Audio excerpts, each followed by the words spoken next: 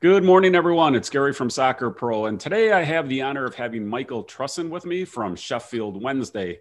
Today we'll be talking about grassroots coaching. And Michael, if you could, how about introducing yourself and giving us a little bit more detail about your experience and especially what you've been doing with the pro teams and how that relates to grassroots coaching? Yeah, hi, Gary. Yeah, so working backwards through my career, I, I was recently assistant manager and first team coach at Sheffield Wednesday Football Club. Uh, Sheffield are a team in the English Championship, the one below the Premiership. Prior to that, I was European scout for Celtic. I was European scout for West Bromwich Albion, who were then in the Premier League. I worked as a scout for numerous professional football clubs. I've been uh, coaching at a professional level. I was a coach educator for the English Football Association, delivering coach education qualifications. And prior to that, I was a professional football player for a number of clubs, including Brighton and Sheffield United, for over 18 years. So, all in all, I've been in professional football since the age of 16 some 40 odd years now. Wow, that's a pretty long career you have going there. So, what do you have coming out now? You've got this grassroots mission that you're taking on board. What has inspired you to go down that route? Grassrootscoaching.com is a website that I've owned for over 10 years. In its first instances, it was a subscription based website and still is. And what we do is we use uh, 3D animation to create sessions and drills that were primarily for coaches. So across a range of topics such as dribbling, running with the ball, shooting, etc. The, the, the website was searchable by age, ability, skill level. And, you know, it worked on a very simple principle. A picture is worth a thousand words. Yep. So we focused on making sure visually that coaches could see and understand and develop coaching sessions that could improve them as coaches and help their players. It's taken a back seat in the last couple of years because of my uh, scouting and coaching roles that I've taken on board. Um, and I'm now in a position where I, I, have really looked at it and decided that I want to make all the content I have, some 300 sessions, I want to make it free. So we've developed a YouTube channel. Um, we're going out on social media. Um, and you know there are no strings attached to this. Any coaches, any players, any teams, any uh, uh, associations who think that it's worth a look, very simply look at grassrootscoaching.com on YouTube, and we will be putting all of our content for free to air on on YouTube, and other social media outlets. The idea really is from an income point of view, if we generate enough hits, then these kind of social media websites will pay you money for advertising and etc. There's the potential of sponsorship. You know, this this has say holistic approach. Thirdly, after all the years I've been playing and coaching the game, I feel that I have something to offer to assist predominantly grassroots coaches and players and indeed players. There's a, there's a big emphasis on player sessions that the players can facilitate and organise themselves to develop their own playing skills. It works upon a very simple, week. I call it when I did the coach education qualifications, it was very much a KISS approach. So KISS, for those that don't know, stands for keep it simple, stupid. So, you know, these are sessions that any coach can look at and use, develop, individualize, but gives them motivation and inspiration of how to develop and improve players in certain areas of their play. Well, that's an interesting point. There's a lot of player centric training programs that have come out in the last, well, especially the last year since COVID. So is your system focused more on individual player development, or are you trying to help the coaches do player development on a team level? Both. I mean, so so so basically, it's layered. Okay, so there will be lots of sessions for individual players that they can practice in their back garden. So, for mm-hmm. example, I have an eight year old grandson who's a very keen, enthusiastic footballer. We've been filming him in my back garden where we've been working on his quick feet fitness and then introducing a ball so that he has lots of touches of the ball related to the quick feet fitness. Then there are sessions where the player can, pra- again, practice on their own in terms of passing, turning, dribbling, individual skills, right? Challenges, and then there we, we we then we grade it up to where two players are then involved. So at this point, there's no need for coach intervention. These are these are uh, sessions that the players can facilitate themselves. So then we move into two players. So you know, pass and move in two, pass and support in two. Yep. Run with the ball in two. So there's challenges to those sessions, and the players can facilitate themselves. Then we start to move up to a level where there might be now some coach intervention because of the number of players involved. So we might move into a functional practice that involves rotating crossing, um, that would would work on the technique and then develop into a skill and then develop into a small sided game. And then for those coaches that want to have got older players and, and a greater number of players, we move into functional practices. So develop crossing in a small sided game, overloads in midfield in an 8v8 game, how to attack the defence in a phase of play. Um, and then we move into small sided game from 4v4 to 8v8. How do you coach your team in a small sided game? How do you coach them to defend more effectively? How do you coach them to attack more uh, uh, effectively? How do you how do you coach them to improve running with the ball in a small sided game? So you can see how the themes then link in all the way through from sure. individual player skills all the way to team games. Yeah, it sounds like you've scaled it up all the way from the individual to small sided games to full scrimmages and everything in between. Absolutely, and and you know the, the great thing then is that the coaches and or the players can select what sessions that they think are relevant to their needs. They can watch them. There's explanations in terms of how you organise this, what the key coaching factors are, how the progressions will be linked in. Um, and as I say, I mean, the great thing about it is for free. Now, the, the other great advantage of this is, is that many of the sessions are geared around worldwide coaching qualifications. So, for example, in America, if a person is taking a coaching qualification, then they can look at these sessions and take out the, the basic principles that they can then apply on their coaching qualification. Right. I mean, there's no point to reinvent the wheel over and over and over again. It's better to take a guide. Absolutely. You know, and, and you know, the, the, the great thing about, you know, any coaching session is, is, it's subjective. You know, you don't look at it and go, mm-hmm. this is what I must do. You right. know, you look at it and go, well, that's good. That's really good. I like that organization. I would have it with four players rather than six players. So it's not it's not a, you know hard and fast guide. It's a directional uh, information. Right, more like a framework. We all look at what other people are doing, like oh, I like that and I like that, and you take a piece from here and a piece from there, and you add your own Absolutely. pieces in there, and before you know it, you modify it and tweak it, and it becomes your own. Absolutely, but you know, again, I go back to this. The great thing about it is it's free. It's designed and written by myself, and you know, over forty-five years of, of professional playing, coaching, scouting, managerial experience, coach educational, which is you know hugely relevant in terms yep. of you know what how does a coach think, what does a coach want, how how does that session progress into that session. So coaches can look at these sessions visually, explore and see how they're organised, how they're structured, how they progress, what are the key coaching factors.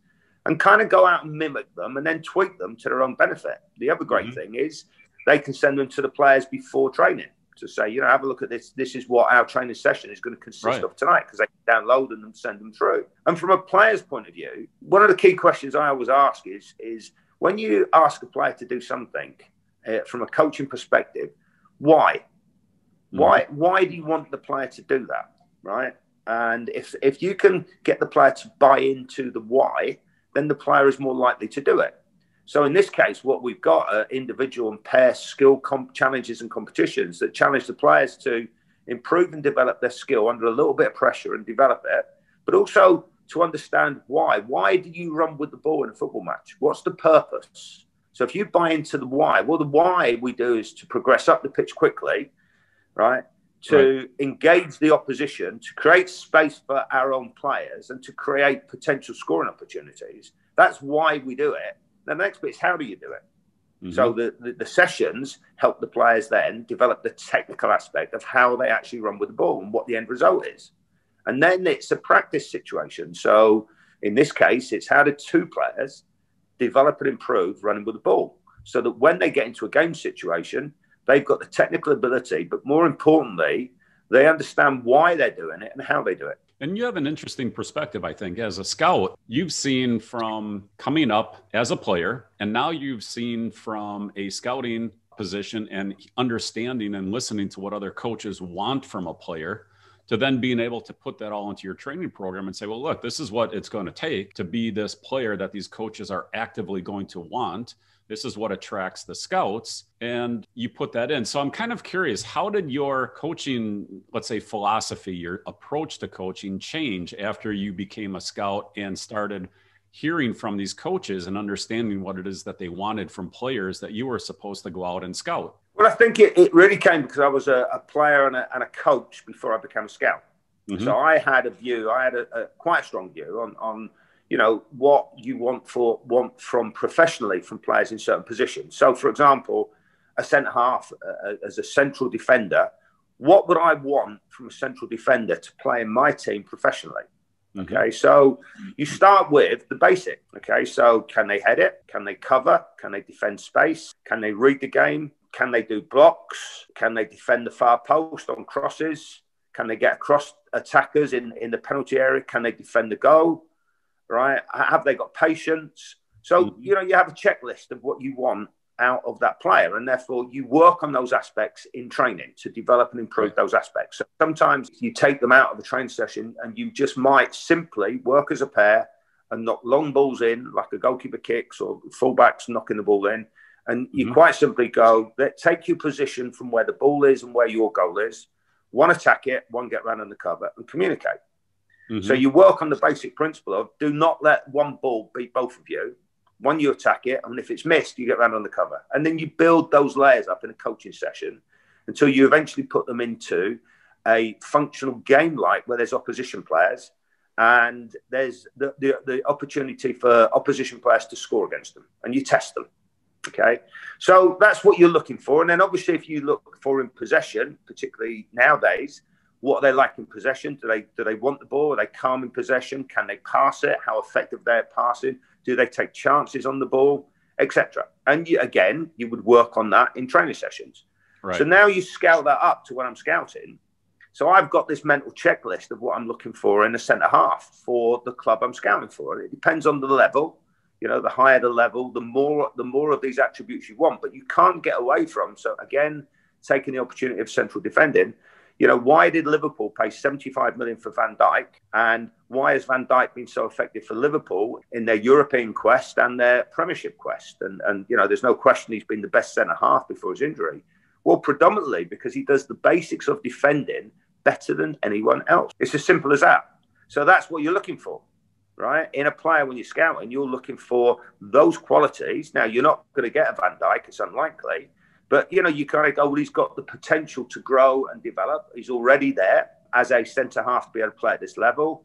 And so, therefore, you're using your coaching knowledge and your playing knowledge, because I hmm. played centre half at times, to then reinforce your scouting philosophy and what you're looking for in a player. Sure. And I would assume right now, with everything being shut down, that having a program like grassroots coaching is going to help these kids at least get out and stay well stay current with their skills and hopefully build them up a little bit because sometimes during the season they don't have the chance to work on individual skills as much as maybe they should well absolutely and, and you know if you're going to have some fun doing it and, and mm-hmm. develop some fitness levels whilst doing it and you're doing rep- a repetitive skill practice in a fun engaging way that is also competitive and challenging, then that repetitiveness of, of working on those skills as an individual and that self analysis of why did I run successfully with the ball in that situation and why didn't I in that situation, right? And where they can watch a video that explains how the structure of the session works and how it progresses and what they should and why they should be doing, it yep. can only assist them. Absolutely. So let's bounce back just to the uh, program. So we've got the students, or let's say the players, who are the yeah. individual students of your program. Then you've got the coaches, which are going to look at yeah. the coaching curriculum, and yeah. that's going to be free for them as well, right? Yes.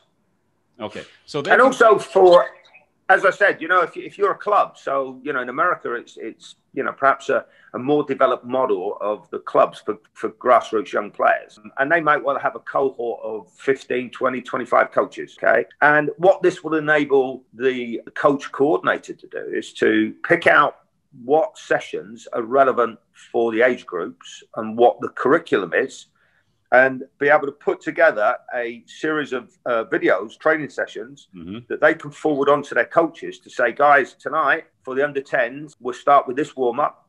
We will move into this individual practice. We'll move into this small sided game. We'll move into that large small sided mm-hmm. game.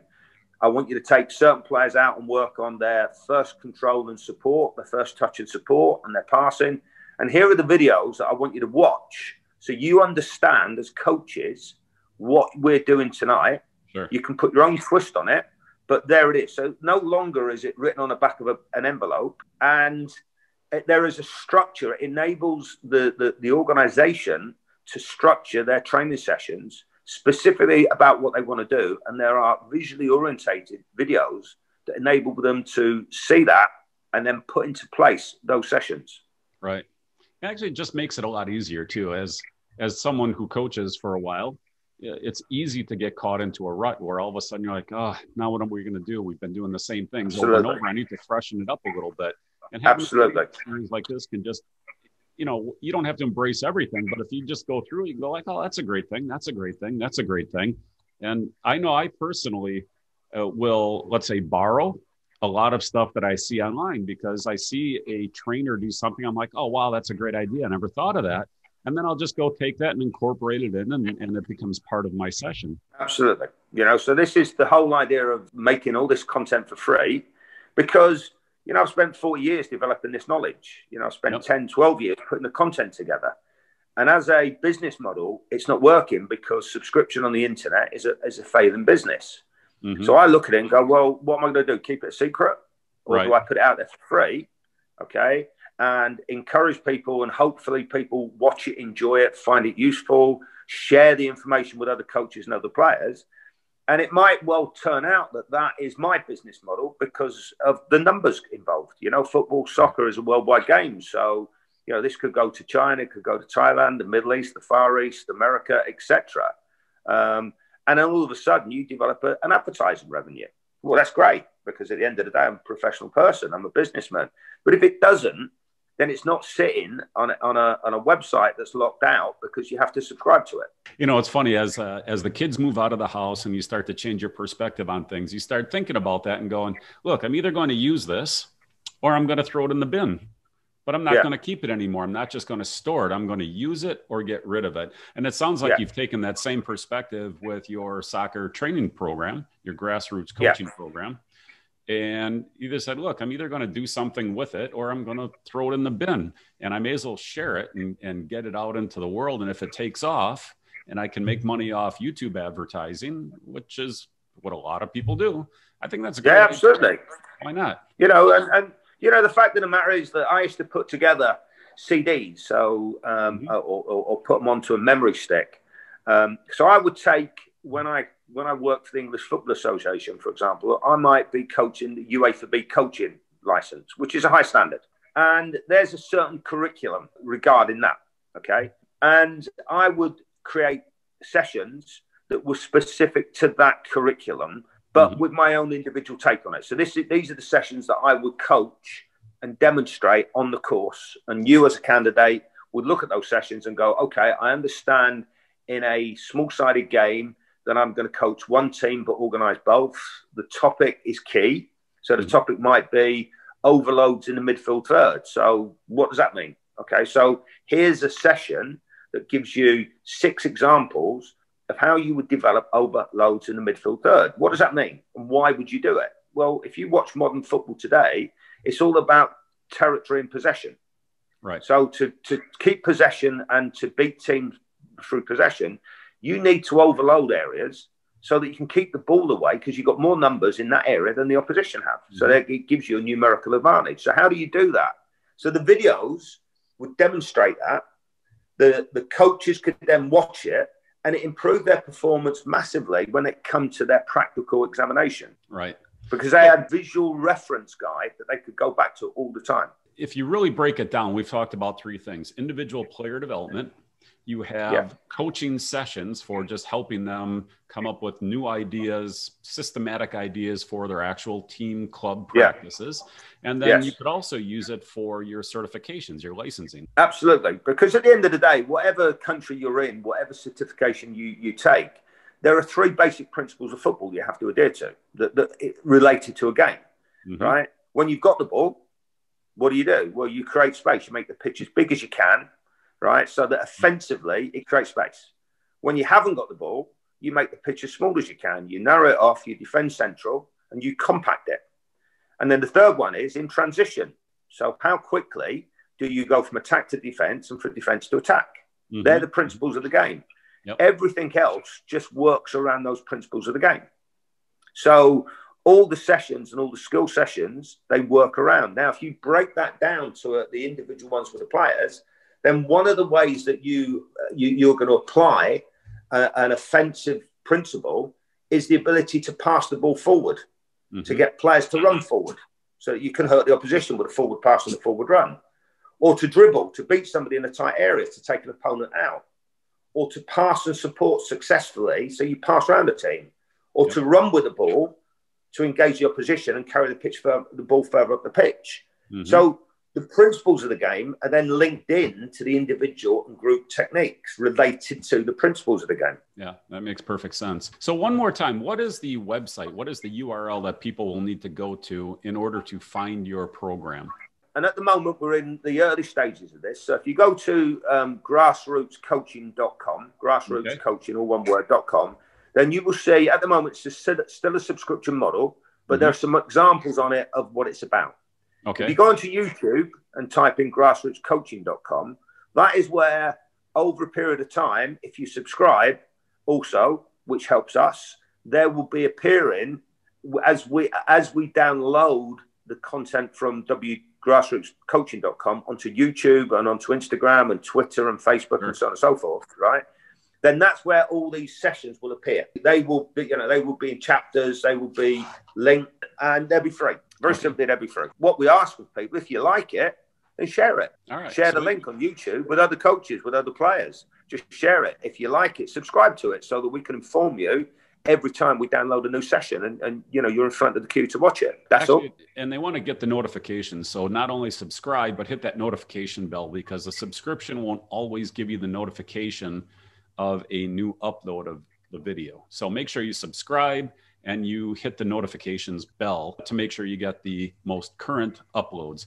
So just I want to bounce back because grassroots coaching, that's a pretty popular term. I mean, it's uh, amazing you have that as a URL. Congratulations on that.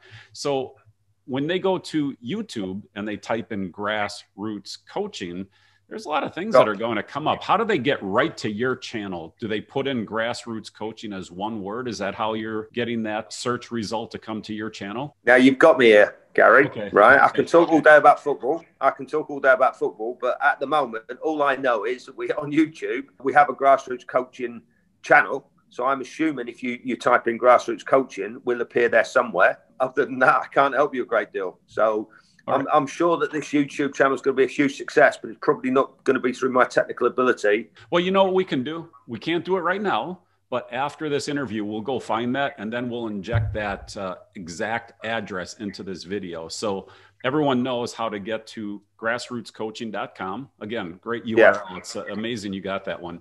So grassrootscoaching.com and then we'll yeah. put the uh, YouTube channel name into this video so that you can get directly to YouTube and get the free videos. And again, make sure you subscribe, make sure you hit that notifications button so that you get the notification when there's a new upload of the free videos. That will be great. And for those that do go to the channel on YouTube, there are probably 10 or 12 videos on at the moment, but we're in the process of downloading them at a rapid rate. So, again, that whole subscribe and notify is going to be really important because you will get you know get that notification when the when the new videos are downloaded. Yep that's great stuff. So i look forward to looking at some of those videos because like i said i'm always in the need of new sessions new ideas new plans for our own stuff. And uh, yeah. there's no better way to get that idea than from looking at what other people like yourself has done already. So absolutely well, I really appreciate you taking the time today to come and tell us about your program. Again, that's grassrootscoaching.com. Go to the YouTube yep. channel for the free videos, coaching sessions, individual sessions. And if you're going through your licensing certifications, make sure you go there because you'll get a head start. You'll get a guide on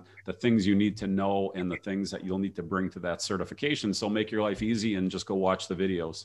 Well, again, I appreciate you taking the time out today and uh, hope no problem. get you back here and uh, talk to us more as time goes by and you get more videos up and we have a chance to dig deeper into that system. I look forward to that. All right. Thank you. Bye now. Take, take care and keep safe.